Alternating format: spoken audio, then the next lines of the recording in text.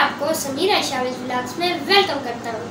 Guys जैसा कि आप सबको पता है कि बारिश का मौसम जो है वो स्टार्ट हो गया है।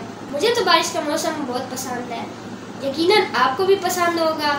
अगर आपको भी बारिश का मौसम पसंद है तो हमारी आज की वीडियो को एंड तक ज़रूर देखिएगा आज की वीडियो में मैं आपको कुछ बारिश के बारे में टिप्स बताऊँगा, जिन पर हमें अमल करना चाहिए। तो चलिए मैं आपको सबसे पहली टिप बता देता हूँ। सबसे पहली टिप ये है कि हमारे पास अम्ब्रेला होनी चाहिए। और रेन कोट होना चाहिए, ताकि हम बारिश में खूब इंजॉय कर सके। दूसरी टिप ये है कि बारिश से नहा के हमने जब घर आना है तो हमने गर्म पानी के साथ नहाना है, ताकि हमारी बॉडी का टेम्परेचर नॉर्मल हो जाए। उसके बाद जब हमने बारिश में नहा लेना है, फिर अगर हमने बाहर स्कूल वगैरह जाना है तो हमने सारी अपनी कापीज बुक्स को एक प्लास्टिक बैग के अंदर पहले डालना है, फिर उनको बैग के अंदर डालना है। ताकि वो कवर भी हो जाए और सेफ़ भी हो जाए और ताकि वो ख़राब भी मत हो। अब हमने ये सब कुछ कर लिया, बारिश में नहा लिया, खूब इंजॉय कर लिया। उसके बाद हमने आके जो है वो बुक्स और कापीज़ को भी कवर कर लिया।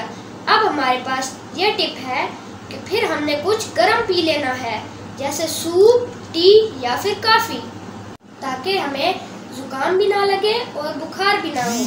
आप कहीं बाहर है और तेज़ बारिश स्टार्ट हो गई है तो इस वक्त आपने किसी प्लेग्राउंड में भी नहीं खेलना या फिर गार्डन में भी नहीं जाना।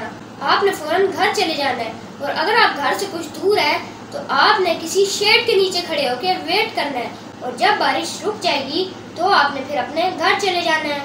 अगर आपके घर के बाहर फ्लड की तरह ढेर सारा पानी खड़ा हो जाता है तो आपने उस पानी को निकाल देना है ताकि उस पानी से मॉस्किटो ना पैदा हो और आप बीमार ना हो। बारिश के मौसम में आपने बाहर का खाना जैसे जंक फ़ूड चाट, पानी पूरी या फिर जूस इनको नहीं खाना, ताकि आप बीमार ना हो।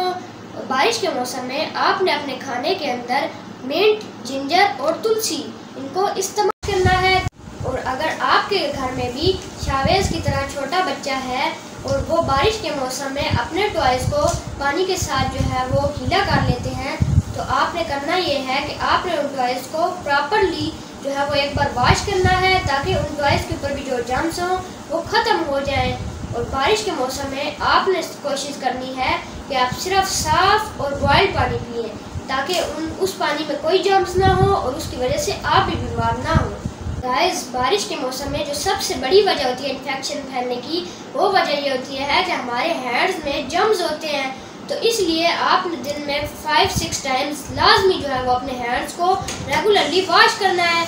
आपने क्लीनिनेस का ख्याल भी रखना है सेफ़ ड्रिंकिंग वाटर का भी और हेल्दी डाइट का भी, ताकि आपको कोई इन्फेक्शन ना लगे और आप बीमार भी ना हो। और आप इसी तरह बार बार बारिश में इंजॉय करें। तो आज की वीडियो हमारी यहीं तक थी। तो और आज की वीडियो में मैंने जो आपको पॉइंट्स बताए हैं उन पर मैं खुद भी कोशिश करता हूँ कि मैं अमल करूँ, कोशिश करता हूँ कि शावेज को भी उन पर अमल करवाऊँ, और आपने भी उन पर लाजमी अमल करना है, ताकि इसी तरह हम सब सेफ़ रहें। उम्मीद करता हूँ कि आज की हमारी वीडियो आपको पसंद आई होगी। अगर पसंद आई तो हमारे चैनल को लाइक शेयर और सब्सक्राइब करें, और बेल आइकन मत भूलें, ताकि हमारी हर नई आने वाली वीडियो सबसे पहले आप तक पहुँचे। तो हम आपसे अपनी नेक्स्ट वीडियो मिलते हैं, तब तक के लिए बाय